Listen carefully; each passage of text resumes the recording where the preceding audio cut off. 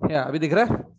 Yes. Yeah. Okay okay so मैं ये बोल रहा था कि last time we started with the topic of electromagnetic induction उसमें फेराडे के लॉस हो गया था कि फेराडे ने कैसे इलेक्ट्रोमैग्नेटिक इंडक्शन डिस्कवर की थी। फेराडे लॉस उसके बाद हो गया था लेंजिस लॉ उसके बाद कुछ प्रॉब्लम्स मैंने प्रैक्टिस कराए थे। और उसके बाद जो नेक्स्ट टॉपिक चालू हुआ था जो मैंने स्टार्ट किया था just it was motional EMF okay topic name was motional EMF अब मोशनल ईएमएफ क्या था, मैं जल्दी से रिवाइज करा लेता हूँ। सी सब ये यहाँ पे देखो स्क्रीन पे। Suppose this rod it's a rod और ये जो रॉड है ना मेटेलिक रॉड है। The length of this rod is L is moving here with a velocity v suppose और यहाँ पर जो है ना, ऐसे मैग्नेटिक फ़ील्ड भी है। It is moving within the magnetic field like this so यहाँ पर आप देखोगे तो ऐसा कुछ नहीं है कि कॉयल है, उसमें से फ्लक्स पास हो रहे हैं। और कॉयल में से फ्लक्स चेंज हो रहे हैं ऐसा कोई सिचुएशन नहीं है। पहले तो कॉयल ही नहीं है बेसिकली और ऐसा नहीं है कि flux are changing in the coil ये सिर्फ़ रॉड मूव कर रही है with velocity v in a magnetic field b तो मैंने लास्ट टाइम कुछ फॉर्मूला डिराइव करके दिखाई दिया। आई थिंक आपने नोट भी किया होगा। EMF induce in the rod इस रॉड में जो ईएमएफ इंड्यूस होता है वो मैंने डेवलप किया था। याद है किसी को? फॉर्मूला क्या है? ईएमएफ इंड्यूस की PLV.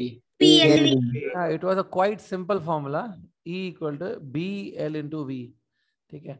डेरिवेशन कोई पूछता नहीं है, कोई इसकी डेरिवेशन नहीं आती है कभी भी। सिर्फ़ आपके नॉलेज के लिए मैंने बता दी थी तो ये ईएमएफ इंड्यूस होती है। अब देखो एक्चुअली में ये ईएमएफ जो इंड्यूस हुई है बीएलवी इसका मतलब ये था कि, ये देखो, इसका अपर एंड पॉजिटिव टर्मिनल बन गया था, मुझे याद है ये। और नीचे का जो एंड है इलेक्ट्रॉन नीचे शिफ्ट हुए थे। Because of that lower end become negative terminal this way upper end was acting as a positive terminal lower end connected like negative terminal. मतलब एक सेल की तरह काम करने लगेगा। Work like a cell EMF induce हुआ है। Okay तो डायग्राम थोड़ा पहले अच्छे से ध्यान से देख लो। ठीक है? अब इसके बारे में मैं कुछ और चीज़ें बता रहा हूँ मैं। Let's discuss some more points अब देखो सपोज़ यहाँ पर आ, ये जो रेड कलर में मैं ड्रॉ कर रहा हूँ सपोज़ ये दो वायर्स हैं और यहाँ पर एक रेजिस्टेंस कनेक्टेड है लाइक दिस ठीक है। ठीक है। लास्ट टाइम जो आपने सर्किट बनाया था, उसी में चेंजेस मत करो, चाहिए तो ये नया बना लेना प्लीज़ बेटर इट इज़ देखो, ये एक सर्किट अभी क्या लग रहा है? ये क्लोज सर्किट बन गया, ठीक है? इट्स अ क्लोज सर्किट तो इसमें क्या होगा? ये जो ऊपर का पॉजिटिव टर्मिनल है ना, वहाँ से करंट स्टार्ट होगा।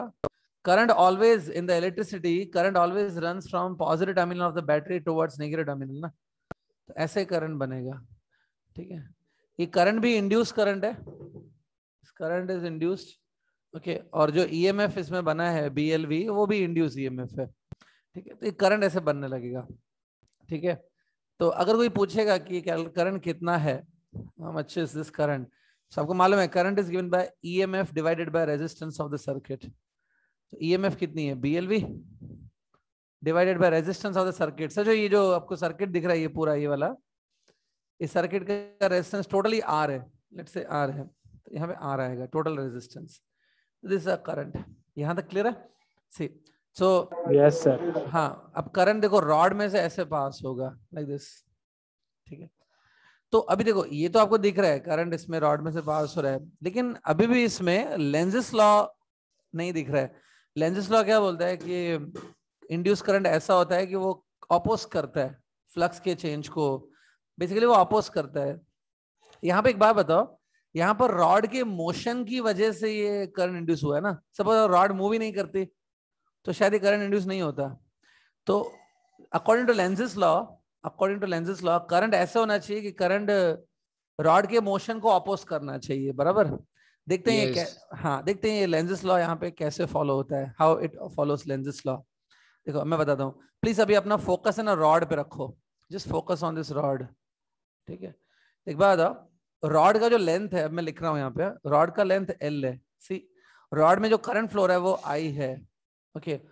तो I current is running in the rod of length L और रॉड को मैग्नेटिक फ़ील्ड में रखा है ना आपने मैग्नेटिक फ़ील्ड भी है बी तो रॉड के ऊपर पता है, एक फोर्स लगेगा F equal to I L B और बी आई एल ये फोर्स आपने दूसरे चैप्टर में पढ़ा होगा मूविंग चार्जेस चैप्टर में मैग्नेटिज्म चैप्टर में जो है। F equal to B I L sine theta देखा है ऐसा कुछ force F equal to L I B sine theta या B I L sine theta नहीं देखा तो बोल दो कि सर नहीं पता हमको ये। Have you ever seen this force in the moving charges magnetism? No. नहीं देखा है बराबर? ठीक है सुनो मुझे जब तक क्लियर रिस्पांस नहीं आएगा मैं नहीं समझ पाऊँगा। भले आप चैट मैसेज में भेजो या वॉइस माइक ऑन करके बोलो। No, sir. No sir No, sir. नहीं देखा है। अच्छा अच्छी बात है नहीं देखा है। एक काम करो हाँ, जो मैं अभी लिख रहा हूँ बता वो देखा है formula F equal to Q V B sine theta sir. Yes, sir. ठीक है तो कोई मुझे बता सकता है ये जो formula F equal to Q V B sine theta कौन से चैप्टर में देखा आपने name electric effects of electric current. तो वो चैप्टर में बस खाली ये Q V B sine theta के आगे आप गए, गए नहीं आगे जाते हैं इमीडिएटली ये फॉर्मूला ये भी है ये भी फॉर्मूला है। ये जो आप बोलो ना Q V B sine theta देखा है उसी उसी चैप्टर में वापस जाओ Q B sine theta formula पे जाओ उसके इमीडिएटली नेक्स्ट पेज पे एक या दो पेज आगे आपको ये फॉर्मूला पक्की रहेगी B I L sine theta ऐसा हो ही नहीं सकता। ठीक है? तो I am sure B I L sine theta भी है और आपने देखी होगी आपको याद Yes, नहीं है ठीक है मैं थोड़ा इसको ईजी कर देता हूँ B I L sine theta क्या है देखो। पहले आप वो फॉर्मूला पे आ जाओ Q V B sine theta पे। Q V B sine theta is a force acting on the Q charge when the charge is moving in the magnetic field जो मूविंग चार्ज के ऊपर फोर्स लगता है ना, वो है QVB sine theta QVB sine theta is a force acting on a moving charge in a magnetic field बराबर? लेकिन अभी सोचो, अगर जो ये मूविंग चार्ज है, वो नहीं है, उसकी जगह पे करंट कैरिंग वायर है। तो करंट कैरिंग वायर पे जो फोर्स लगता है ना inside the magnetic field current carrying wire पे जो फोर्स लगता है, वो है B I L sine theta B I L sine theta is a force acting on the conductor which is carrying current. QV sin theta जो है वो QVB sin theta, it's a force acting on the moving charge. ठीक है? I think clear है लेकिन एक बार सुन लो वापस अगर नहीं समझ में आता है। कभी भी आप एक मैग्नेटिक फ़ील्ड ले लो उस मैग्नेटिक फ़ील्ड में अगर तुम मूविंग चार्ज रखोगे तो उसके ऊपर फोर्स लगाती है मैग्नेटिक फ़ील्ड और अगर मूविंग चार्ज नहीं लिया उसकी जगह पे करंट कैरिंग वायर ले लिया। अब करंट कैरिंग वायर के अंदर भी चार्जेस ही मूविंग करते रहते हैं। तो करंट कैरिंग वायर पे भी फोर्स लगाती है। जो मूविंग चार्ज पे फोर्स लगता है बाय द मैग्नेटिक फ़ील्ड जो मूविंग चार्जेस पे लगता है, वो है क्यूबीबी साइन थीटा और जो करंट कैरिंग कंडक्टर पे लगता है, वो है B I L sine theta तो एक बार बताओ, यहाँ पे आपकी जो रॉड है डायग्राम में प्लीज़ उस रॉड को देखो। ठीक है रॉड में आई करंट है which is obviously induce current तो रॉड में आई करंट है लेंथ ऑफ़ रॉड एल है, और ये मैग्नेटिक फ़ील्ड भी तो है ना यहाँ पे बी तो ये देखो बी भी है आई भी है एल भी है तो फोर्स तो लगना ही चाहिए। B I L sine theta ठीक है? इस फोर्स को आप पता है कौन सा फोर्स बोल सकते हो? इसको भी आप लॉरेंस फोर्स बोल सकते हो एक तरीके से। लास्ट टाइम में अपने लॉरेंस फोर्स बोला था कि आपने सीखा है लॉरेंस फोर्स yes. Yes. तो ये भी लॉरेंस फोर्स का ही टाइप है एक्चुअली में। ठीक है? ओके तो चलो मैं आगे बढ़ता हूँ। इसमें अगर आपको याद है B I L sine theta theta is angle between direction of I and direction of L I और एल के बीच के एंगल है। यहाँ पर आप ध्यान से देखो डायग्राम में। एल जो है लेंथ लेंथ वर्टिकल है। Okay no no sorry sorry. Uh, theta is a angle between i and b. Sorry l नहीं. I और b के बीच की एंगल होती है. तो करंट देखो वर्टिकली जा रहा है और जो मैग्नेटिक फ़ील्ड है वो इनटू द पेज है ना? It is going inside the page so I और b दोनों 90 डिग्री बना रहे हैं. तो ये थीटा एंगल 90 डिग्री है. चलो अभी मैं जल्दी आगे बढ़ रहा हूँ. तो इस रॉड पे ये फोर्स लगेगा. F equal B I L ठीक है? अब डेफिनेटली आपको ये फॉर्मूला जो F equal B I L है वो याद नहीं थी. तो ये भी याद नहीं होगा कि ये फोर्स का डायरेक्शन कैसे निकालते हैं। राइट सपोज़ मुझे ये डायरेक्शन ऑफ़ इस फोर्स निकालना है। फ्लू रूल से। फ्लेमिंग से भी निकलते सर और राइट हैंड से भी निकलते। हाँ अच्छा very good Fleming left hand rule की right hand rule left hand rule. Left hand rule. Direction of this force is given by Fleming left hand rule ये फोर्स जो लगा ना बी आई एल इसका अगर आपको डायरेक्शन चाहिए तो फ्लेमिंग लेफ़्ट हैंड रूल लगाना चाहिए। देखो जिनको याद नहीं है फ्लेमिंग लेफ़्ट हैंड रूल मैं बता देता हूँ। आप सबसे पहले अपने लेफ़्ट हैंड को आप इस तरीके से लाएँगे। इस वजह आपका लेफ़्ट हैंड है। If the thumb thumb is in the direction of F this first finger should be in the direction of B और सपोज़ आपकी मिडिल फिंगर है the middle finger should be in terms of I और तीनों आपस में perpendicular होनी चाहिए। ऐसा पढ़ा होगा आई एम श्योर यस हाँ। Yes. एक वर्ड याद एक वर्ड याद करो F B I F B I CBI सुना होगा सीबीआई इंडिया में सीबीआई Yes. होता है इंडिया में सीबीआई है अमेरिका में एफबीआई होता है. तो या it's investigating agency F B I ऐसे याद हो जाएगा. थंब एफ़ उसके बाद फ़र्स्ट फिंगर बी करंट आए तो एक काम करो अपनी जो फ़र्स्ट फिंगर है लेफ़्ट हैंड की उसको बी पे रखो. बी देखो इन टू द पेज है. अपनी जो मिडिल फिंगर है उसको आई पे रखो करंट पे. करंट देखो रॉड में कैसा फ्लोर है वर्टिकली अप फ्लोर है. तो F which is a force acting on the rod वो एफ़ मिल जाएगा। लेफ़्ट साइड लेफ़्ट साइड मिलेगा। अरे वाह वेरी गुड तो करेक्ट आप एकदम करेक्ट बोला आपने। जो Yes, फोर्स sir. लगेगा ना फोर्स इस तरफ़ लगेगा इधर। यस सर ठीक है। तो बात ये जो फोर्स है वो वेलोसिटी के ऑपोजिट लग रहा है ना? तो यस तो अगर Yes. एक बात अगर मैं चाहता हूँ अगर मैं ये चाहता हूँ कि रॉड आगे मूव करे विथ वेलोसिटी v क्योंकि जब रॉड मूव करेगी तभी उसमें ईएमएफ इंड्यूस होगी और करंट इंड्यूस होगा। तो मैं चाहता हूँ रॉड राइट साइड मूव करे, लेकिन ये फोर्स देखो उसके अगेंस्ट है। सो ये लेंसेज लॉ अप्रूव हो रहा है। लेंसेज लॉ यही बोलता है कि whenever you try to change the flux और the EMF is induce current induce and direction of current is such a way that it oppose the change of flux. तो rod के move होने की वजह से ही ये करंट इंड्यूस हुआ है। अब ये फोर्स ऐसा है कि वो रॉड के मोशन को ही अपोज कर रहा है। ठीक है? तो देखो, मैंने ये फोर्स का डायरेक्शन दिखा दिया है स्क्रीन पे। फोर्स की वैल्यू लिख ली है। फ्लेमिंग लेफ़्ट हैंड रूल भी बता दिया। पहले कुछ नोट करना है इसमें से तो पहले नोट कर लो फिर मैं आगे बढ़ता हूँ। यस सर एक बार। हाँ क्या बोल रहा सर एक बार फिर से समझो ना क्या एफ़ ई को बी आई एल नहीं समझा कि उसका डायरेक्शन नहीं समझा? क्या पहले? सर फोर्स चेंज होने की वजह से ईएमएफ कैसे जनरेट होते हैं मतलब फोर्स अपोज करते हैं ना। देखो, सबसे पहले क्या था? लास्ट टाइम मैंने ये टॉपिक स्टार्ट किया था। जब लास्ट टाइम स्टार्ट किया, तब कोई फोर्स की बात ही नहीं थी। लास्ट टाइम क्या हुआ था? जब मैंने बताया था कि जो रॉड है ना सपोज़ रॉड सिंपली मूव कर रही है खाली। अगर रॉड मूव करेगी ना, ठीक है suppose rod is only moving तो उसमें ये ईएमएफ जनरेट होगा। ईएमएफ जनरेट होगा मतलब रॉड का जो एक साइड है, एक एंड है, वो पॉजिटिव बन जाएगा और रॉड का जो दूसरा एंड है, वो नेगेटिव बन जाएगा। ये मैंने लास्ट टाइम एक्सप्लेन किया था। तो one end of the rod become positive other end of the rod become negative तो रॉड की जो दो एंड्स है ना, उसके बीच में पोटेंशियल डिफरेंस आ जाएगा। और उसी पोटेंशियल डिफरेंस को हम लोग ईएमएफ इंड्यूस बोलते हैं। तो रॉड में पहले तो ईएमएफ इंड्यूस हुआ है, वो किस वजह से हुआ है? क्योंकि रॉड मूव कर रही है। वो मैंने लास्ट टाइम बताया था, वो आज मैंने नहीं बताया। तो rod is moving because of its motion EMF induce हुआ है। अब आज उसकी वजह से क्या हुआ? आपने इसको क्लोज सर्किट बना दिया देखो आपने रेजिस्टेंस आर कनेक्ट किया है तो एक क्लोज सर्किट बन गया है। क्लोज सर्किट बनाओगे तो फिर करंट भी इंड्यूस होगा। अगर क्लोज सर्किट नहीं है तो करंट नहीं बनेगा। तो देखो अभी करंट बन गया। पहले मैंने वो करंट फाइंड किया। आ, वो है करंट दिख रहा है वो B L V upon R लिखा हुआ है करंट को। तो करंट अभी फ्लो होने लगा ईएमएफ की वजह से। अब प्रॉब्लम क्या है कि अगर करंट फ्लो होगा ना तो करंट की वजह से एक फोर्स लगेगा B I L sine theta ठीक है? तो ये भी अपने पिछले चैप्टर में पढ़ा है मूविंग चार्जेस चैप्टर में मैग्नेटिज्म में। तो बी आई एल फोर्स लग रहा है, ठीक है? अब ये फोर्स का डायरेक्शन भी तुमने पिछले चैप्टर में ही सीखा है कि direction of force Fleming left hand rule से मिलता है। तो वो भी मैंने आपके हिसाब से लिया फ्लेमिंग लेफ़्ट हैंड रूल से निकाला। तो फोर्स का डायरेक्शन ऑटोमेटिकली लेफ़्ट आ रहा है, ठीक है? तो लेफ़्ट आ रहा है मतलब ये फोर्स क्या कर रहा है? रॉड के मोशन को अपोज कर रहा है ना? रॉड राइट साइड जा रही है फोर्स लेफ़्ट साइड लग रहा है। तो हाँ रॉड के मोशन को अपोजिशन मिल रहा है। चलो आई होप आपने सबने नोट कर लिया ये। यस सर यस सर मैं आगे बढ़ रहा हूँ। अब नोटबुक आपके सामने है आपके पास ये डायग्राम वगैरह सब है। ठीक है? ठीक है? ये डायग्राम मेरे माइंड में है और आपके नोटबुक पे होना चाहिए हाँ? ठीक है? तो बात ये आपका कुछ ऐसा सर्किट था। ठीक है? फोर्स ऐसा लग रहा है अल्टीमेटली तो बात ये फोर्स क्लियरली अपोज कर रहा है। तो एक बात इस रॉड को आगे मूव करते रहने के लिए हमको वर्क करना पड़ेगा ना क्योंकि ऑपोजिशन मिल रही है। Yes Yes. Work needed to be done to keep this rod moving work done करना पड़ेगा इस रॉड को मूविंग रखने के लिए।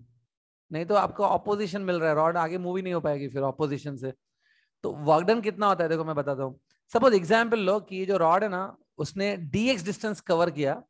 रॉड आगे मूव हुए इसने डीएक्स डिस्टेंस कवर किया in the time of D T seconds DX बहुत छोटा डिस्टेंस है उसने कवर किया डी टाइम में। तो वर्क डन इतना होगा। फोर्स इंटू डिस्प्लेसमेंट ठीक है? अब कौन सा फोर्स सर देखो, ये जो फोर्स है ना, ये तो अपोज कर रहा है। तो आपको पता है ऐसा फोर्स लगाना पड़ेगा इसको ओवरकम करने के लिए। ये होगा अप्लाइड फोर्स ठीक है? तो आपका अप्लाइड फोर्स कितना होगा? आपका अप्लाइड फोर्स एटलीस्ट ये जो अपोजिंग फोर्स है, उसके इक्वल तो होना ही चाहिए ना, कम से कम। तो यहाँ पर हम लोग अप्लाइड फोर्स लेंगे। But our applied force will be nearly equal to this opposing force also. या उससे थोड़ा ज़्यादा होना चाहिए एक्चुअली ठीक है तो ये वर्क डन है। It's a work done to move by D X distance ना? तो इसको मैं डी डब्ल्यू लिखूँगा। ठीक है इतना समझा क्या? Yes. Yes, sir. sir. Yes. हाँ हाँ। अब देखो ये वर्क को अगर मैं दोनों साइड देखो अभी डी टी डी टी से डिवाइड कर दूँ। D T is that time जिसमें आपने ये वर्क किया है जिसमें ये मूव किया है आपने उसको। तो D W by D T होता है पावर जो आपने इसको दिया। पावर विच इज़ सप्लाइड देखो अगर आप किसी के ऊपर वर्क करते हो ना सब आपने किसी को एनर्जी दिया किसी के ऊपर वर्क किया तो how much work you did in every one second work done per in time that is a power ना सो वर्क डन ये आपने पावर सप्लाई किया any idea what is this dx by dt कुछ Velocity. idea? Velocity. Velocity. it's a that velocity with which rod is moving f अब देखो मैं आगे बढ़ रहा हूँ ये f की फॉर्मूला हमने ऑलरेडी बना ली थी f equal to B I L था और ये वी और इसमें i की फॉर्मूला भी मैं ऑलरेडी बना चुका हूँ। I की फॉर्मूला ये थी B L V upon R जाके चेक. हाँ। Yes. एक एक स्टेप ध्यान से देखो इसमें से ये स्टेप में क्या चेंजेस किया मैंने इसमें से ये स्टेप में क्या चेंजेस किया देखो। तो ये बन गया B square L square V square by R ये है आपका पावर जो आपने इस रॉड को दिया चलने के लिए ठीक है। जिनको हाँ जिनके थोड़े कॉन्सेप्ट वीक हैं, जिनका फिजिक्स इतना स्ट्रांग नहीं है, उनको लग रहा होगा, सर, ये क्या है इतना सब लेंदी? लेकिन आप, कोई भी चीज़ नहीं समझ में, आप दस बार मुझसे पूछो, मैं बताऊँगा। लेकिन शर्त एक ही होगी, जब मैं बता रहा हूँ आपको, उस टाइम पे आपका पूरा ध्यान मेरे वर्ड्स पे होना चाहिए कि मैं क्या बोल रहा हूँ। फिर देखो, आपको फिजिक्स की हर चीज़ समझ में आएगी। थिंग इज़ ध्यान देना पड़ेगा, उसके बिना नहीं होता है. तो अगर कुछ अभी भी नहीं क्लियर है सर अभी भी कुछ क्लियरिटी नहीं आ रही तो बोलो मैं उसको और थोड़ा रिपीट करता हूँ। Any confusion till this No. ठीक। तो देखो पावर मतलब ये देखो आपको भी मालूम है आपको वर्क करना पड़ेगा इसको मूव करने के लिए। अगर आप वर्क कर रहे हो मतलब पावर दे रहे हो आप उसको। Power delivered by you is actually work done by you per second उसको पावर बोलते हैं। तो आपने पावर इतना दे रहे हो आप ठीक है? अब एक चीज़ एक्स्ट्रा बता रहा हूँ, भले आप वो नहीं भी करोगे तो भी चलेगी। ये पावर वाली जो फॉर्मूला है, इस पर न्यूमेरिकल्स आते हैं। फोर्स बी आई एल पूछ सकते हैं, उस पर न्यूमेरिकल आएँगे। अभी तक जो किया, उस पर न्यूमेरिकल आएँगे। मैं खाली आपको एक चीज़ ऐसी दिखा रहा हूँ, जो आपके नॉलेज के लिए खाली। एक बात बताओ ये आप पावर दे रहे हो ना इसको मतलब इतना एनर्जी आप दे रहे हो इस रॉड को मूव करने के लिए, लेकिन कभी भी एनर्जी क्रिएट या डिस्ट्रॉय नहीं होती है। तो अगर ये एनर्जी आप लोग दे रहे हो, ये पावर आप लोग दे रहे हो तो पावर किसी न किसी और एनर्जी में किसी न किसी और फॉर्म में कन्वर्ट हो रहा होगा। ठीक है? ठीक है? तो एनी आइडिया ये पावर कौन से फॉर्म में कन्वर्ट हो रहा है? This is a power given by us potential energy नहीं बेटा। एक वो बताओ, resistance hit करेगा ना। देखो आप जो पावर दे रहे हो ना ठीक है? मतलब आप एनर्जी दे रहे हो बेसिकली रॉड को मूव करने वो इलेक्ट्रिकल एनर्जी के फॉर्म में अपीयर हो रहा है सर्किट में ना। Yes. एक बात इस इस सर्किट में करंट इंड्यूस हुआ है बराबर? इधर करंट. फ्लो कौन सी तुमने बैटरी लगाई थी? हाँ एवरेडी की निप्पो की बैटरी लगाई थी जो इसमें पावर आ गया? या कोई आपने इसमें सीधा एसी जनरेटर के साथ कनेक्ट कर दिया इसको घर के पावर सप्लाई के साथ? ये जो सर्किट आपको दिख रहा है इसमें मैंने कुछ बाहर से कनेक्ट थोड़ी किया है खाली इसको मैं मूव कर रहा हूँ। तो इसमें इलेक्ट्रिसिटी आई कहाँ से? ये हमारा जो गिवन पावर है this is called mechanical power जो आप दे रहे हो हा, अपने हाथ से इसको मूव करा के। यही इलेक्ट्रिकल पावर में कन्वर्ट होता होगा ना? ठीक है? तो ये yes. सब हाँ ये मैं प्रूफ कर सकता हूँ कि इलेक्ट्रिकल पावर इसमें से ही बन रहा है।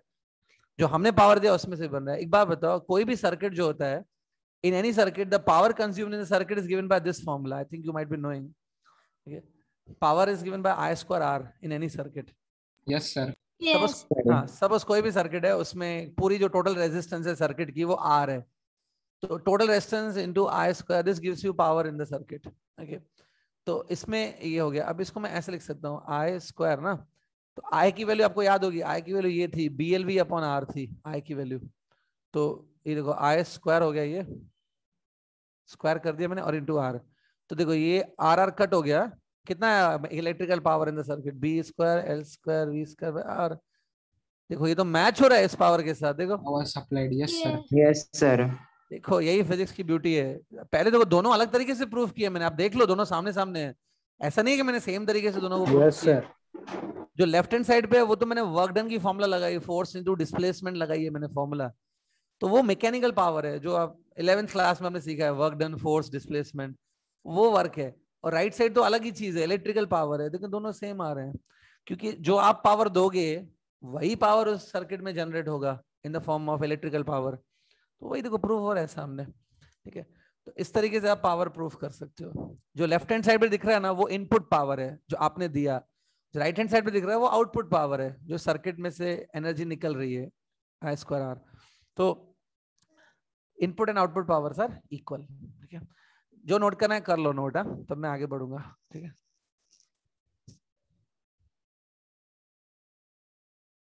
और देखो आपने ऊपर वो फोर्स लिखा था B I L and all force का डायरेक्शन भी आपने बनाया था।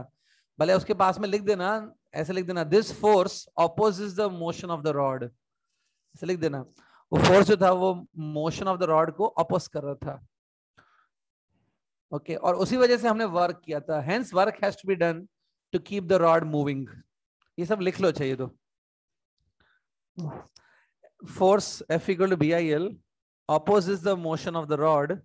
Hence, work has to be done to keep the rod moving. Okay. ये सब आपको टेक्स्ट बुक में भी मिल जाएगा लेकिन टेक्स्ट बुक में ना सब स्कैटर्ड फॉर्म में रहता है। आता नहीं दस दस पंद्रह चीज़ें और लिख देते हैं तो बच्चा पढ़ने पे कंफ्यूज ही हो जाता है।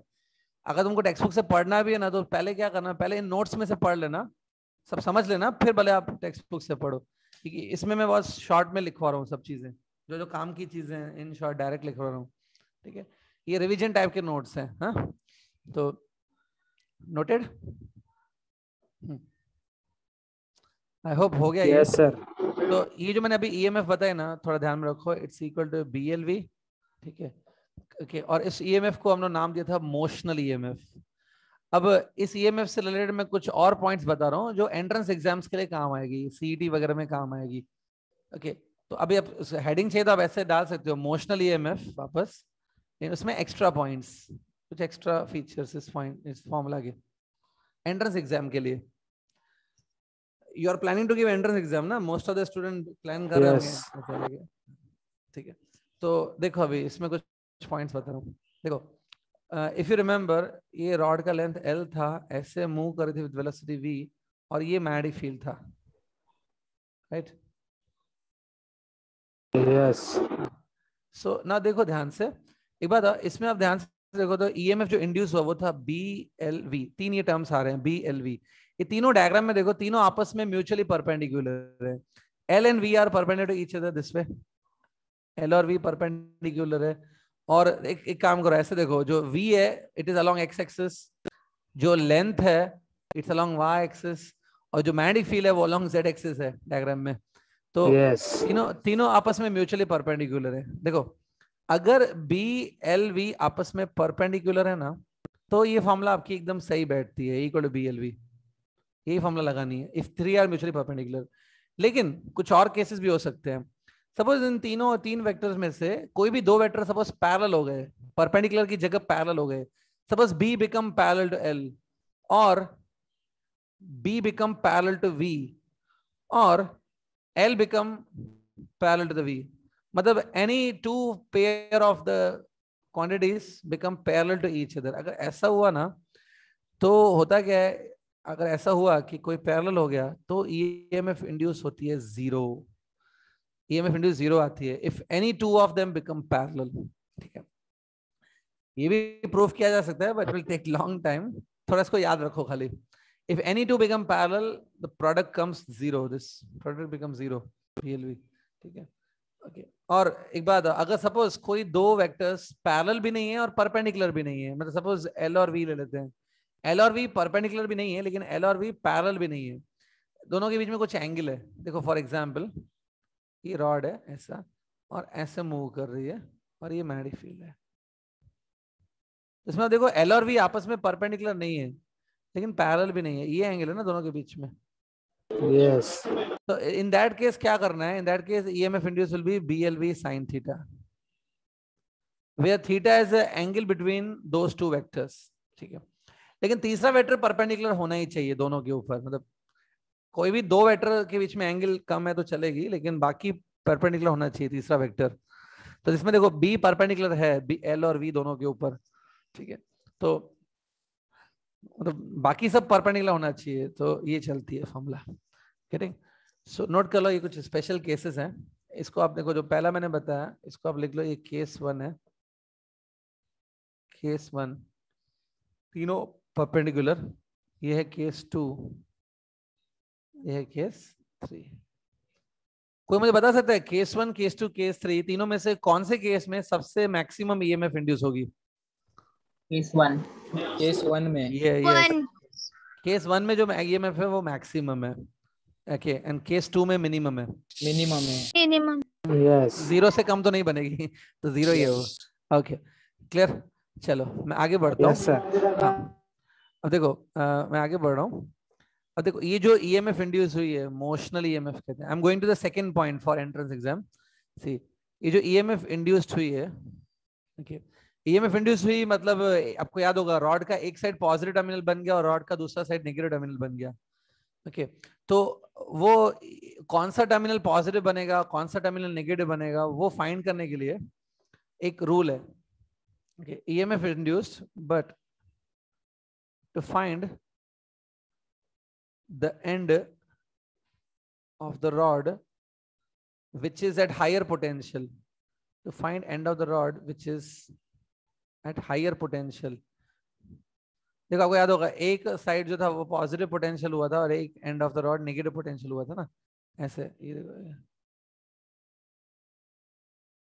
आई थिंक रॉड ऐसे मूव कर रही थी हमारे केस में और ये मैग्नेटिक फ़ील्ड था। तो देखो, यहाँ पर तो ठीक है, आपको मैंने करके दिखाया था कि अपर एंड पॉजिटिव बन गई, नीचे की एंड नेगेटिव बनी थी। लेकिन सोचो कुछ और केस आ गया कि रॉड हॉरिजॉन्टली मूव नहीं कर रही है रॉड वर्टिकली मूव कर रही है। मैग्नेटिक फ़ील्ड इनवर्ड नहीं है मैग्नेटिक फ़ील्ड आउटवर्ड है। ओके या वेलोसिटी अपवर्ड हो गई तो पॉजिटिव नेगेटिव पहचाने में आपको तकलीफ़ होगी, कौन सा टर्मिनल पॉजिटिव है, कौन सा नेगेटिव तो जो ये टर्मिनल पॉजिटिव है ना सी दिस टर्मिनल ये पॉजिटिव है ना, इसको बोलते हैं द हायर पोटेंशियल साइड ना। तो इसको फाइंड करने के लिए कौन पॉजिटिव है, कौन नेगेटिव एंड है, इसको फाइंड करने के लिए okay there is one rule एक रूल है ओके उस रूल को बोलते हैं फ्लेमिंग का राइट हैंड रूल आपने जो पहला रूल बताया था वो बी आई एल के लिए B I L sine theta के लिए वो कौन सा था? Left hand left hand rule hand rule rule वो अलग चीज़ है वो एफ़ इक्वल टू बी के लिए लगता है। लेकिन ये वो नहीं है ये उसका फ्लेमिंग राइट हैंड रूल है। फ्लेमिंग को दो हाथ थे तो उसने लेफ़्ट हैंड यूज़ कर लिया अभी राइट हैंड भी यूज़ कर रहा है अपना। तो Fleming right hand rule obviously इसका नेम ही राइट हैंड रूल है तो राइट हैंड ही इसको स्ट्रेच करना पड़ेगा। अपने राइट हैंड को स्ट्रेच करके ऐसा पोजीशन में लाओ। मैं ड्राइंग में उतना अच्छा नहीं हूँ लेकिन शायद ये चल जाएगी राइट हैंड लग रहा है ये?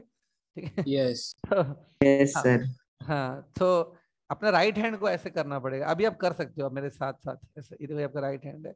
बिल्कुल ऐसे ही आएगा आपका राइट हैंड अभी कंप्यूटर के सामने बैठे हो तो। तो नेक्स्ट अब इसमें करना क्या है?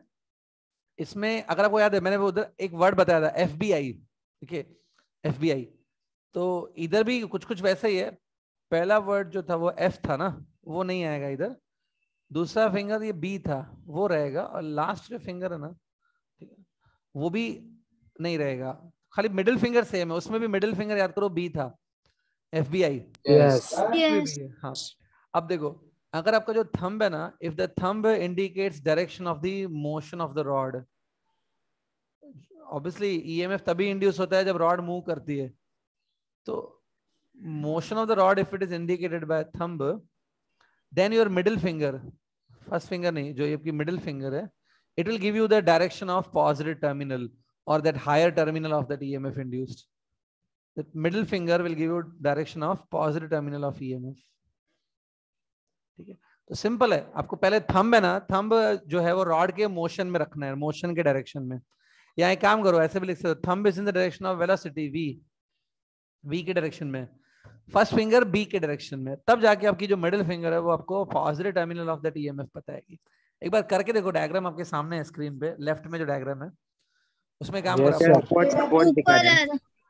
ऐसे जब भी करोगे ना मतलब कोई और केस में भी करोगे तो राइट आएगा। तो remember Fleming right hand rule जो मैंने अभी बताया it is used to find out the which end is at higher potential okay okay clear ये पॉइंट यस हाँ नोट डाउन कर लो. मैंने थोड़ा ऐसे जो लिखा है थोड़ा सा हैंडराइटिंग इतना अच्छा नहीं बैठता है यहाँ पे। आप प्रॉपरली सिस्टमेटिकली लिखो। मैं टाइम दे रहा हूँ आपको। Note it properly sir downward भी हायर पोटेंशियल भी हो सकता है। देखो अगर आप जो वेलोसिटी वी है ना और जो मैग्नेटिक फ़ील्ड b है v और b में से किसी का डायरेक्शन चेंज करोगे तो हो सकता है डाउनवर्ड बनेगा। बाकी ये डायग्राम के हिसाब से अपवर्ड ही बनेगा। सर सर आ, कोई भी परपेंडिकुलर ना हो तो कैसे होगा? अगर परपेंडिकुलर नहीं है तो फिर क्या करना होता है मैं आपको बताता हूँ लेकिन अगले केस में बता देता हूँ वो। तुम ये बोलना चाहते हो अगर परपेंडिकुलर नहीं है तो मैं ये रूल कैसे लगाऊँगा? यस सर ये हम्म, बताता हूँ। वो मैं अगले केस में बता देता हूँ आपको। Okay okay noted yes sir yes sir yes sir किसी का अगर नोट नहीं हुआ है या कुछ मिस हो गया तो बोला करो हाँ, मैं ऊपर रखा है सब मैं वापस दिखा सकता हूँ पूरा। ठीक है। अब देखो थर्ड केस पे आ रहा हूँ मैं। इमेजिन दैट अभी तक जो एक बार बताओ मैं जब भी ये इमोशनल ईएमएफ टॉपिक लिया अभी तक। हर बार मैंने रॉड स्ट्रेट ही ली थी स्ट्रेट रॉड थी। कभी भी Yes. रॉड कोई हाँ। सो so, जो अगर स्ट्रेट रॉड नहीं है उसकी जगह पे ऐसा कुछ ऐसे शेप का कोई कंडक्टर है लाइक दिस ये तो काफ़ी अजीब लग रहा है। ठीक है? ये शेप का कंडक्टर है। ओके okay, और ये कंडक्टर जो है ना ये भी मूव कर रहा है with this velocity this way moving with velocity v in a magnetic field this way अलग ही शेप है इसका मतलब। इरेगुलर शेप का कंडक्टर है इट्स इरेगुलर शेप तो इसमें क्या शॉर्टकट होता है? मैं शॉर्टकट्स बता रहा हूँ एग्ज़ाम के लिए। इसमें क्या करो? इसकी जो दो एंड पॉइंट्स है ना सपोज़ दो एंड पॉइंट्स को मैं नेम देता हूँ, P और Q देखो, ये P एंड पॉइंट है और ये Q है। ठीक है? एंड पॉइंट्स दिख रहे हैं पी और क्यू तो फिर क्या करेंगे?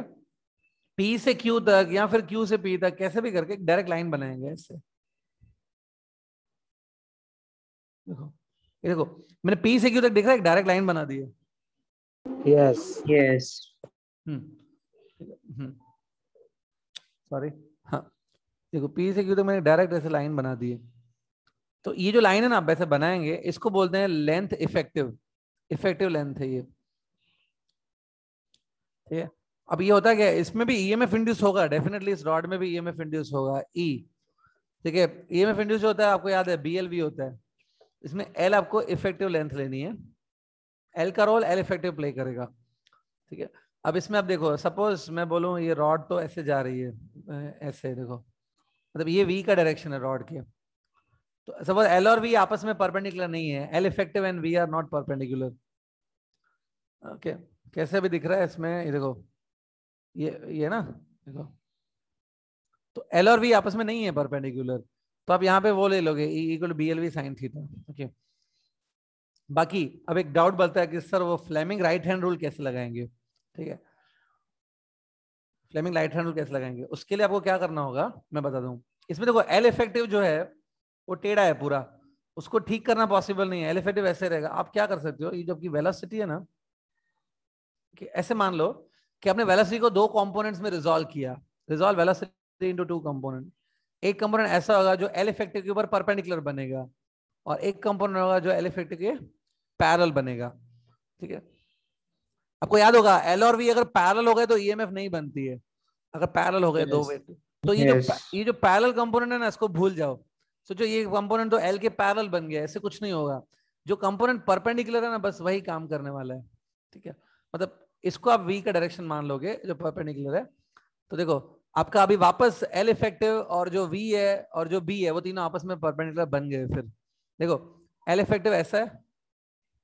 वी मैंने बोला ना, खाली परपेंडिकुलर कंपोनेंट ले लो। ऐसा। और बी ऐसा है। तो तीनों आपस में परपेंडिकुलर बन जाएँगे। एक बार बन गए तो आप इसके ऊपर आप राइट हैंड रूल लगा सकते हो।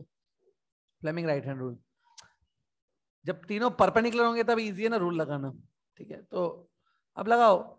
मतलब अगर आपको लगे एल और वी आपस में परपेंडिकुलर नहीं है तो प्लीज़ वी को रिजॉल्व करके ऐसा बनाओ कि वी का एक कंपोनेंट होना चाहिए परपेंडिकुलर एल इफ़ेक्टिव के ऊपर। अब नीचे वाला डायग्राम देखो। इसमें प्लीज़ वो लगाओ फ्लेमिंग राइट हैंड रूल जो मैंने बताया था। Can you please tell me P जो एंड है वो हायर पोटेंशियल पे होगा Q end higher potential sir P रहेगा पे। P सर P रहेगा। हाँ तो ऐसे आप इरेगुलर लूप को भी कर सकते हो। ठीक है। इरेगुलर लूप डिफ़िकल्ट पड़ता है बहुत बच्चों को अटकता है। ओके okay, और कभी कभी जो एग्ज़ाम वाले हैं वो भी डरते हैं कि ऐसे बच, डालेंगे बच्चे सॉल्व ही नहीं कर पाएँगे ऑल लेकिन मैंने को वो भी बता दिया इरेगुलर से कैसे डील करना है। इरेगुलर है एल इफ़ेक्टिव ले लो। एल और वी आपस में परपेंडिकुलर नहीं है तो तुम वी को रिजोल्व कर लो और परपेंडिकुलर कंपोनेंट ही ले लो खाली वी का। पैरल कंपोनेंट नहीं चाहिए। उसके बाद वी एल इफ़ेक्टिव वी और बी ये तीनों आपस में परपेंडिकुलर बन जाएँगे। फिर लगाओ अपना Fleming right hand rule very clear yes sir sir. ये भी इंपॉर्टेंट केस है बल लिख लेना। इट्स अ कंडक्टर विथ और rod with irregular shape irregular shape की रॉड के लिए। ठीक है? तो ये मैंने कुछ एक्स्ट्रा पॉइंट्स बताए इमोशनल ईएमएफ से कनेक्टेड दोनों साथ में कवर कर रहा हूँ तो टाइम लगेगा ज़्यादा। एंट्रेंस के लिए भी बता रहा हूँ मैं तो it will take time okay over note किया पूरा।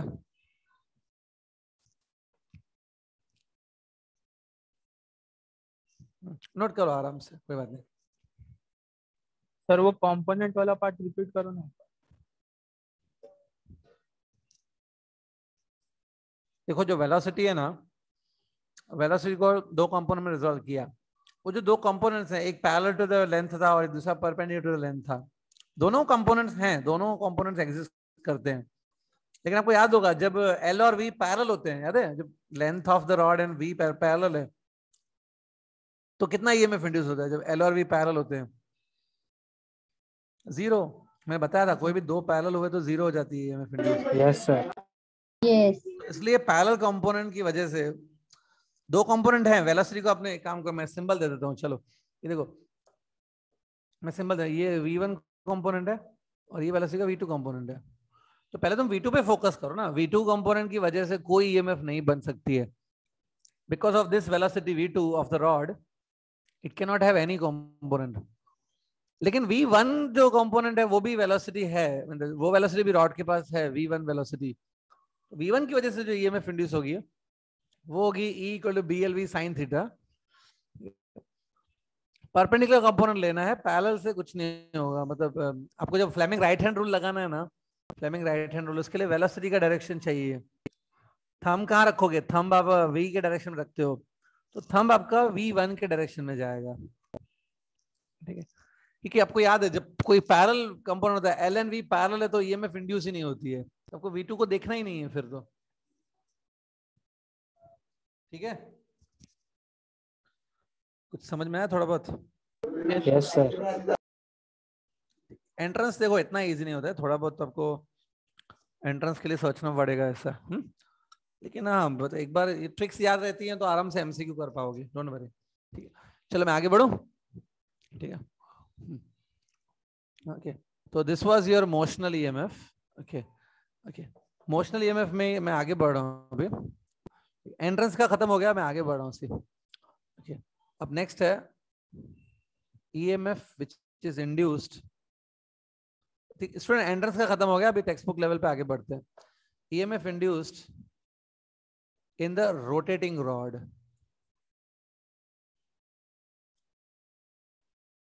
EMF induced in the rotating rod अब ये क्या चीज़ है? देखो अभी। सी सी सपोज़ ये एक रॉड है okay it's a rod of length L okay it's name of this rod is A B अब ये रॉड भी मैग्नेटिक फ़ील्ड के अंदर रखी हुई है. Here is a magnetic field there screen clear है ना एकदम स्टूडेंट्स yes. Yes sir. ठीक है। हम्म नहीं उसमें कुछ गड़बड़ नहीं होनी चाहिए कुछ कभी भी इमीडिएटली बता देना अगर स्क्रीन में कुछ प्रॉब्लम आया तो। नहीं तो मैं पढ़ाते रहूँगा आप बैठे रहेंगे पता ही नहीं चलेगा। ठीक है। देखो तो ये है तो रॉड वापस मैंने वापस रॉड ही ली है। एल लेंथ की रॉड है ओके और मैग्नेटिक फ़ील्ड भी आ गई है वापस। So it's almost a similar case जो पहले था इमोशनली में वैसा ही केस लग रहा है। अब क्या करेंगे देखो सपोज़ इस रॉड का जो ये वन एंड है ना ए एंड ए एंड को मैं फिक्स कर देता हूँ A end is fixed A end को फिक्स करके जो बी एंड है उसको घुमाते हैं इससे रोटेट तो इमेजिन कर सकते रॉड कैसे मूव करेगी ना like this yes. Yes. So जो आपने ऐसे पेन रखा पेन रखा ए बी की प्लेस ए बी रॉड की जगह पेन रखा पेन का एक एंड फिक्स करके दूसरे एंड से घुमाना शुरू किया पेन को सर्कुलर पाथ में तो इसको मैं बोल सकता हूँ it's a rotating rod it's a case of rotating rod ये देखो। तो इसमें भी ईएमएफ जनरेट होता है। ओके रोटेटिंग में भी। पहले जो हमने किया था ना इससे पहले जो किया उसमें रॉड जो रॉड थी वो ट्रांसलेशन मोशन कर रही थी। अब ये कर रही है रोटेशन मोशन ठीक है? तो रोटेशन आपने आई थिंक ट्वेल्थ स्टैंडर्ड के पहले पहले चैप्टर में पढ़ा है रोटेशन मोशन तो तो Yes. ए, एक होता है ट्रांसलेशन जो हमने पहले कर दिया अब है रोटेशन तो इसमें ईएमएफ फिर से इंड्यूस होती है।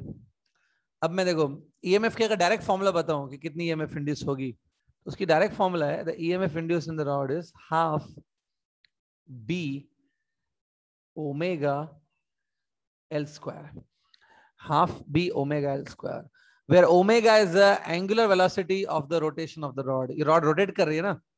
जो बॉडी रोटेट करती है उसके बाद एंगुलर वेलोसिटी होती है। Rotating Yes. एंगुलर हाँ तो वो ओमेगा है ये। तो EMF induces half B omega L square where B is a magnetic field and L is the length of rod तो ये डायरेक्ट लिख सकते हो और याद भी कर सकते हो, ऐसा कोई बड़ी बात नहीं है। लेकिन मैं आपको इसका प्रूफ दिखा देता हूँ, ये कैसे आई EMF how does it exactly comes? ठीक है। ठीक है। एक काम करो, हमने इससे पहले लास्ट लेक्चर में ये प्रूफ किया था कि जब रॉड ट्रांसलेशन मोशन करती है ट्रांसलेशनल तो उसमें ईएमएफ जो इंड्यूस होती है, वो बीएलवी होती है। ये मैंने लास्ट टाइम प्रूफ किया था। तो तो सपोज़ वो आपको मालूम है उसके बाद आप इसको प्रूफ कर सकते हो। देखो अभी ये फॉर्मूला कैसे प्रूफ करेंगे? Suppose this entire rod is divided into large number of small small pieces जो पूरी रॉड है ना उसको छोटे छोटे छोटे छोटे छोटे छोटे छोटे पीसेस में मैंने कट कर दिया छोटे छोटे पीसेस में। तो उसमें मैं आपको एक पीस आपको दिखा देता हूँ ये देखो। देखो इतना। दिख रहा है ये पीस ठीक है। ये Yes. हाँ। ठीक है? अब इन फिजिक्स में ऐसे बहुत सारे प्रॉब्लम्स होते हैं जिसमें हम लोग पूरे बॉडी को छोटे छोटे पीसेस में कट कर देते हैं। ये वाला पीस है ना? इसको छोटे छोटे पीस को हम लोग बोलते हैं एलिमेंट ऐसे बहुत दूसरे चैप्टर्स में भी देखा होगा कि तो एक काम करो, ये एक एलिमेंट है। सब एलिमेंट की जो लेंथ है ना, ये length it's length of element वो है dx कितनी लेंथ है? dx और इसका जो डिस्टेंस है फ्रॉम ए पॉइंट ये डिस्टेंस है x ठीक है? समझ में आई? हाँ तो अब मैं क्या करूँगा? खाली इस एलिमेंट पे फोकस करूँगा पहले। मेरे को एलिमेंट समझेगा तो मेरे को पूरी रॉड भी समझेगी। स्टार्टिंग एलिमेंट से होती है। अब देखो एक बात बताओ आप खाली एलिमेंट पे फोकस करो। जब रॉड रोटेट करेगी when the rod rotates what will happen to this element element circular motion नहीं रोटेट नहीं करेगा वो सर्कुलर पाथ में घूमेगा ये Yes. Yes. देखा अब कुछ लोग बोलेंगे सर सेम ही ना रोटेट बोलो सर्कुलर पाथ में घूमता है सो नहीं अलग होता है। सर्कुलर मोशन अलग होता है रोटेशन अलग है। वो एलिमेंट सर्कुलर पाथ में ही घूमेगा। इट्स नॉट डूइंग रोटेशन तो एक बात this element will revolve in circular path correct what is the radius of that circular path X. X good correct तो एक बात है, ये एलिमेंट सर्कुलर पाथ में घूम रहा है। तो इस एलिमेंट की जो वेलोसिटी होगी ना देखो इसकी suppose the velocity with which it is revolving that velocity is v. V. हाँ। तो एक बात बताओ आपने ये देखा है चीज़ ये फॉर्मूला आपने देखी है v equal omega into r जो Yes. जो बॉडी सर्कुलर मोशन करती है the body which is doing continuously circular motion उसका velocity equal omega times r होता है। तो ये आप एलिमेंट भी सर्कुलर मोशन कर रहे हैं तो इसका वेलोसिटी भी इसी फॉर्मूला से मिलेगा ओमेगा इनटू आर से। आर कितना है इसका? रेडियस कितना है? X.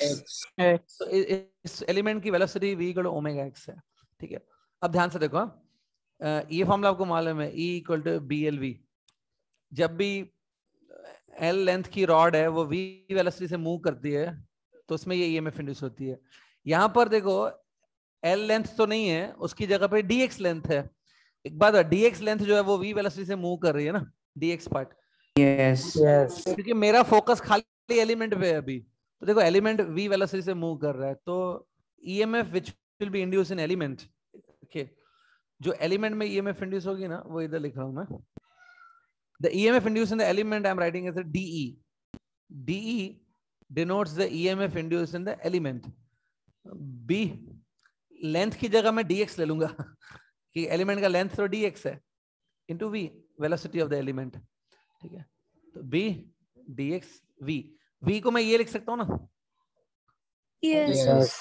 Omega X. तो देखो अभी बन गया b omega x dx it's a emf induced in the one element right? ऐसे ही Yes. ऐसे ही बहुत सारे एलिमेंट्स होंगे. The rod is made up of large number of element इधर भी एलिमेंट होगा इधर भी एलिमेंट होगा. तो ऐसे तो बहुत सारे एलिमेंट है. तो टोटल ईएमएफ जो बनेगी ना वो मिलेगी बाय Integration. इंटीग्रेटिंग इंटीग्रेटिंग देखो तो इंटीग्रेशन में आपको मालूम है कांस्टेंट चीज़ें बाहर आ जाती हैं. तो बी कांस्टेंट है सारे एलिमेंट्स के लिए बी तो सेम ही है। और ओमेगा भी कांस्टेंट है क्योंकि सारे एलिमेंट एक ही ओमेगा से घूमते Yes. हैं तो what is the integration of x dx will be हाँ लेकिन इंटीग्रेशन के बाद लिमिट्स डालनी होती है इंटीग्रेशन की definite integral Zero to L. तो zero to L. Zero to L. Very good x will change from zero to l. डाल दो आपका ये वाली फॉर्मूला आ जाएगी ऊपर वाली। ये फॉर्मूला आ जाएगी ना लिमिट्स डालोगे तो। देख लो। Half b omega L Yes, square. sir. Yes, sir. तो ऐसे ही बोलते रहते हैं डिफ़िकल्ट है फिजिक्स कहाँ है डिफ़िकल्ट देखो आपके सामने शुरू नहीं हुई डेरिवेशन देखो एक दो तीन चार पाँच छह सात स्टेप में खत्म भी हो गई। हम्म, तो टफ कुछ नहीं है। तो अपना थोड़ा दिमाग लगाओ चीज़ें हो जाती हैं। देखो छह सात स्टेप में खत्म हो गया। पूरी फिजिक्स ही इजी है। थिंग इज़ खाली जब आपको फोकस समझने पे रहेगा ना इंस्टेड ऑफ़ मार्क्स और instead of just doing time pass उसकी जगह अगर समझने पे फोकस रहेगा तो बहुत इजी है ये सब्जेक्ट ठीक है देख लो खत्म भी हो गई डेरिवेशन आई होप समझ गई आपको बहुत फास्ट तो नहीं गया मैं। ठीक है? हम्म, ठीक है नोट कर लो पूरा चाहिए तो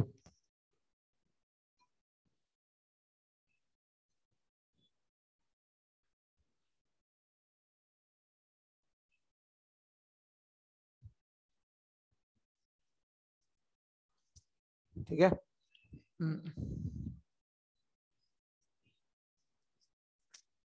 टेक्स्ट बुक वगैरह में भी ये सब मिलता है लेकिन उतना क्लियरली गिवन नहीं होता है।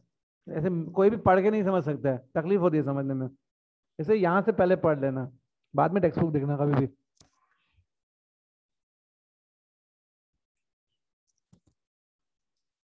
Okay finished Yes. Yes, sir. Diagram वगैरह अच्छे से बना लो ताकि समझ में आए। डायग्राम में एक ही एलिमेंट बनाना है तीन एलिमेंट मत बनाओ जैसे मैंने बनाया एक ही एलिमेंट ठीक है।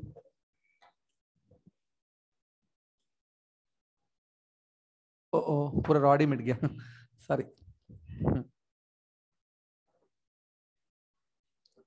okay so I hope it's completed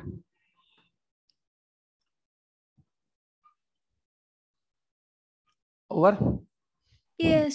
Yes. चलो। तो ऑलमोस्ट कंप्लीटेड अभी काम करते हैं थियरी से ज़्यादा नहीं करते हैं। काफ़ी कुछ किया है थियरी में हमने। इन द रिमेनिंग टाइम मैं एक दो कुछ प्रॉब्लम करा देता हूँ। इसके ऊपर अलग टाइप के प्रॉब्लम्स आते हैं। तो चलो एक प्रॉब्लम करके देखते हैं मोशनल ईएमएफ के ऊपर। ठीक है?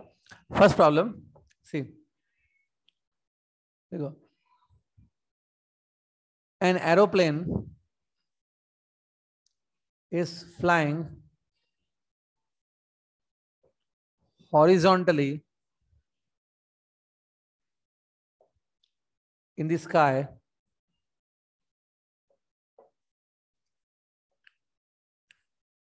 with velocity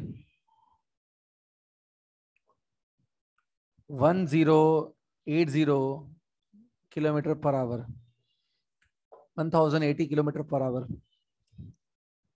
okay if uh, wingspan of this plane is 20 meter. Then find emf induced in its wings.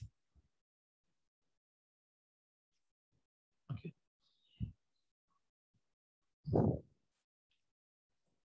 okay. एक बात बताओ स्टूडेंट आपने जो मैग्नेटिज्म चैप्टर किया है उसमें ये टॉपिक पढ़ा है क्या? अर्थ मैग्नेटिक फ़ील्ड वो angle of dip magnetic meridian geographic meridian वो सब पढ़ा है?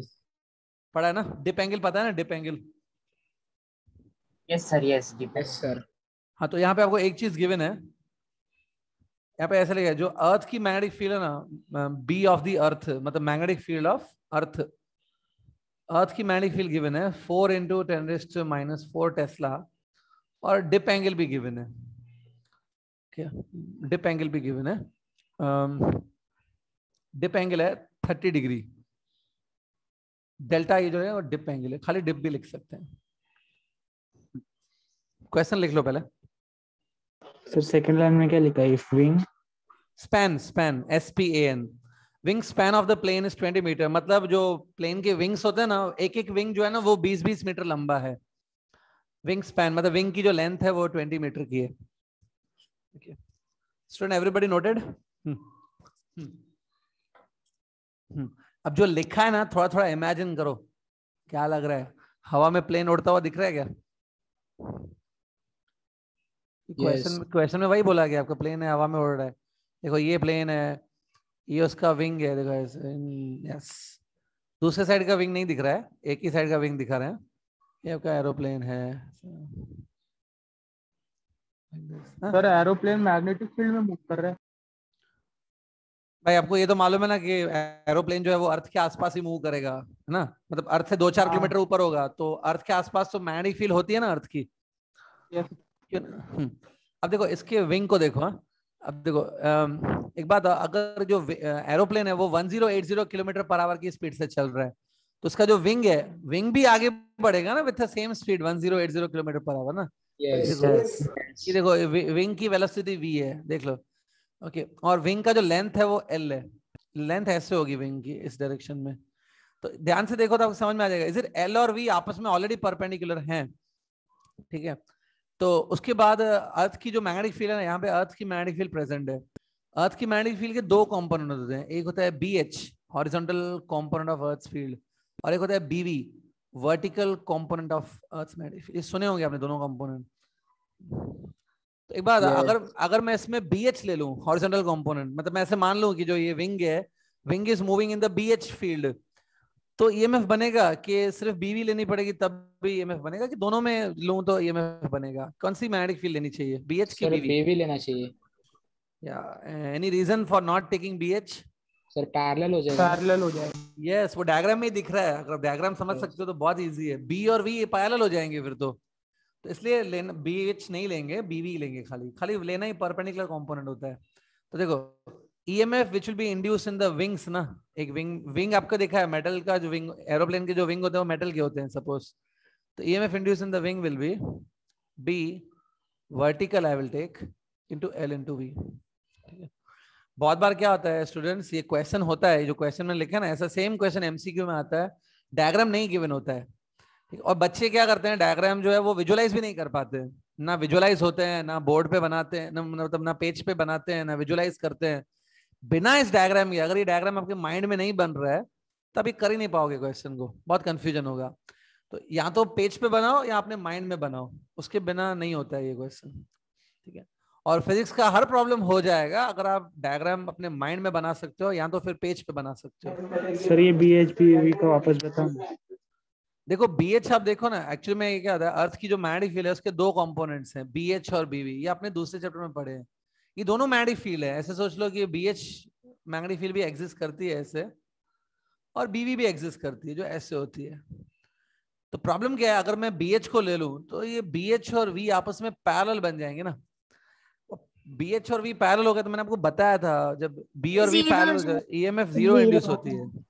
अब चेक कर लो आपको किसी भी बुक में मिल जाएगी वो चीज़। यस सर तो इसलिए बीवी लेना ज़रूरी है ठीक है? तो अभी देखो बीवी पे आ जाते हैं। लेट्स कम टू बीवी सो so, एक बात बता ये बीवी है ये बी एच है तो कोई बता सकता है ये क्या चीज़ है फिर? ये, ये. ये दोनों का नेट होगा ना ये ये total earth magnetic field yes और आपको जो क्वेश्चन में गिवन है ना ये देखो आपको क्वेश्चन में ये वाली गिवन है। ये टोटली है आपको फोर. इंटू हाँ। और डिप एंगल पता है किसको बोलते हैं? आपको पता होगा I am sure dip angle इसको बोलते हैं ये देखो ये। ठीक है। तो बात अगर तुम बी को रिजॉल्व करोगे ये टोटल बी को रिजॉल्व करोगे तो इसका जो हॉरिजॉन्टल कंपोनेंट है ये होगा बी कॉस डेल्टा और ये बीवी कंपोनेंट कितना होगा? बी साइन साइन डेल्टा तो sine delta delta as a dip angle तो बीवी को अब बीवी की वैल्यू इतनी होगी बी साइन डेल्टा देख लो। ठीक है। इसलिए मैंने आपको डिप एंगल दिया हुआ है ना। तो B V equal to B sine delta into L into V finish अब सारी वैल्यूज़ गिवन है। देखो ये जो बी है it is four into ten S to minus four delta कितना लेना है? थर्टी ना? तो Thirty. Sine thirty sine thirty होगा ये। हाँ। One by two. L length कितना लो बोलो? 20 मीटर। 20 meter v कितना लूँ? 1080 ले लूँ। 1080 300 300 मीटर पर बेटा सेकंड 1080 को आपको मीटर पर सेकंड में कन्वर्ट करना पड़ेगा। मुझे वो भी मुझे वो 300. 1080 को किलोमीटर पर आवर से मीटर पर सेकंड में लाना पड़ेगा ना। उसके लिए you need to multiply by 18. 5 5 by 18 तो इसकी टेबल इस पे 6 टाइम्स लग जाती है। 60 times sorry 300 300 metre per second. Obviously वो प्लेन है इतनी स्पीड तो लाएगा वो 300 के आसपास। Yes तो ये Yes. 300 है। बस ये छोटा सा कैलकुलेशन को सॉल्व करो आपकी ईएमएफ हाथ में आ जाएगी। तो इससे आपको वोल्ट में आएगी ईएमएफ ईएमएफ मिल जाएगी आपको। फिनिश इट नाउ जो लिखना है जो डायग्राम बनाना है बना लो सब कर लो। सर हाँ बोलो। सर वो डीप एंगल वही होता है ना जो कंपास मतलब अपने को थोड़ा सा एंगल एक्स्ट्रा बताता है। नहीं नहीं नहीं कंपास जो होता है ना जो नॉर्थ साउथ डायरेक्शन बताता है जो मैग्नेटिक कंपास होता है वो कभी भी डिप एंगल नहीं बता सकता है। क्योंकि डिप एंगल जो है ना वो वर्टिकल डायरेक्शन में बनती है। जब नीडल नीचे की तरफ़ जाती है नीचे बेंड होती है तब बनता है dip angle dip angle compass में दिख ही नहीं सकती है। रॉन्ग है। कंपास में डिप एंगल नहीं दिखती है डिक्लिनेशन एंगल दिखती है। डिप एंगल नहीं दिखती है। 1.2 1.2 volt. Yes, sir. 1.2 1.2. 1.2 yes easy समझा? ठीक है। Yes. तो एक एक काम करो स्टूडेंट मैं आपको एक क्वेश्चन होमवर्क दे देता हूँ। अगले लेक्चर में आपको ये करके लाना है मतलब you need to try this question okay अगले लेक्चर में करके लाना है मतलब ठीक है? देखो एक मैं डायग्राम दे देता हूँ सीधा सीधा ये एक मेटल की रॉड है rod, इसकी- लेंथ एग्जैक्टली वन मीटर है ठीक है? और यहाँ पर ये स्ट्रिंग के साथ जुड़ी हुई ये स्ट्रिंग है। स्ट्रिंग की जो लेंथ है ना वो टू मीटर है ठीक है? अब स्ट्रिंग का ये एंड फिक्स है इट्स अ फिक्स्ड एंड और इस स्ट्रिंग को फिक्स करके हम लोग इसको रोटेट कर रहे हैं ऐसे। ऐसे रोटेट कर रही है ठीक है? अब इसकी जो फ्रीक्वेंसी ऑफ़ रोटेशन है रोटेट कर ना रॉड तो इसकी जो फ्रीक्वेंसी ऑफ़ रोटेशन है। फ्रीक्वेंसी ऑफ़ रोटेशन मतलब the number of rotation perform per second frequency वो है one upon pi revolutions per second RPS one upon pi RPS से घूम रही है। ठीक है? तो आपको करना क्या है सिर्फ़ you have to find out the EMF which is induced in this rod okay uh, जो बी एग्जिस्ट कर रहा है ना बी परपेंडिकुलर है बी चलो ऐसे ले लेते हैं। B is perpendicular on the rod B B है मतलब यहाँ पे मैग्नेटिक फ़ील्ड है। और जो B है ना B की वैल्यू है four into ten raise to minus two tesla इस रॉड में कितना ईएमएफ इंड्यूस होगा वो चाहिए। लेकिन देखो एक स्ट्रिंग्स के साथ कनेक्ट है पतला सा स्ट्रिंग है। और एक चीज़ याद रखना स्ट्रिंग में ईएमएफ नहीं बनती है। ईएमएफ बनेगी मेटल रॉड में। क्योंकि मेडल रॉड में इलेक्ट्रॉन्स होते हैं फ्री फ्री इलेक्ट्रॉन्स जब यहाँ वहाँ जाएँगे तो पॉजिटिव नेगेटिव टर्मिनल बनेगा ना? तो ईएमएफ खाली मेटल रॉड में बनेगी स्ट्रिंग में नहीं बनती है। अब स्ट्रिंग क्या करना है वो आप खुद सोचना है स्ट्रिंग के साथ। तो। अब जिनको लगता है कि सर ये तो बहुत डिफ़िकल्ट क्वेश्चन लग रहा है एग्री थोड़ा डिफ़िकल्ट है। करने की, इसको करने की हिंट दे देता हूँ, उसके बाद आप करना है इसको। एक बात आ, इसमें आपको लग रहा है ये रोटेटिंग रॉड वाला केस है ना? तो what was the formula for rotating rod EMF induced in the rotating rod formula क्या थी? Half b omega half L b square. omega L square. Half b omega L square. हाँ मालूम है वो। तो यहाँ पे वो फॉर्मूला नहीं लग पाएगी क्योंकि यहाँ पे स्ट्रिंग भी इन्वॉल्व है। तो आपको क्या करना पड़ेगा? आपको इस एग्ज़ाम्पल के लिए फॉर्मूला डिराइव करनी पड़ेगी। उसी तरीके से जैसे हमने वो फॉर्मूला डिराइव की थी वापस ये डिराइव करनी पड़ेगी। एक बार फॉर्मूला डिराइव होगा इसमें ये सब वैल्यूज़ डाल देना आपका आंसर निकल आएगा। तो ये मैंने हिंट दे दी। ठीक है? तो वापस तुमको फॉर्मूला बनानी पड़ेगी इस केस के लिए और क्योंकि ये वैसी केस नहीं है, इसमें स्ट्रिंग भी जुड़ा हुआ है, ठीक है? और बाद में उस फॉर्मूला में खाली वैल्यूज़ पुट करनी है, आपका आंसर निकल आएगा, ठीक है? हिंट समझा? तो ऐसा क्वेश्चन जो है ना जेई मेंस में आ चुका है, दो चार साल पहले। तो ऐसा नहीं है कि एकदम डिफ़िकल्ट टॉपिक है, नहीं पूछ सकते। It has been asked in the JEE Mains तो नेक्स्ट ईयर वो नीट वगैरह में कहीं पे सीईटी में डाल सकते हैं उसके जैसे similar please try this question okay मैं नेक्स्ट टाइम इसका आंसर बता हूँ चलो हम्म? Okay so will meet next time student